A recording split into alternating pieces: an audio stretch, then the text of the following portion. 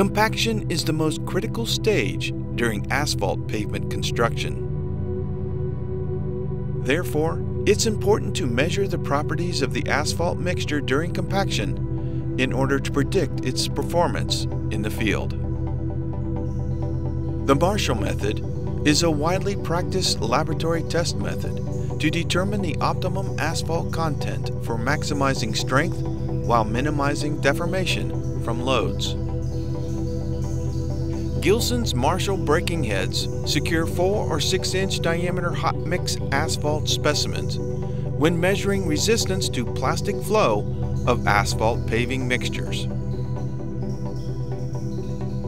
The Gilson Marshall breaking head have machine upper and lower segments connected by two vertical guide rods with precision machine sleeves to reduce friction and assure non-binding movement.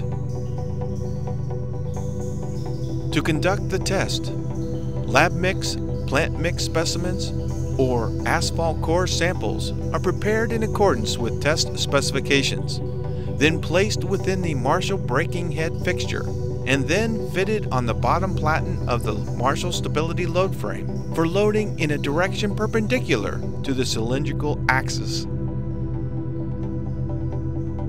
The test report should include stability, flow, density, and air voids in the specimen for evaluation of the mixture and selection of an optimum binder content.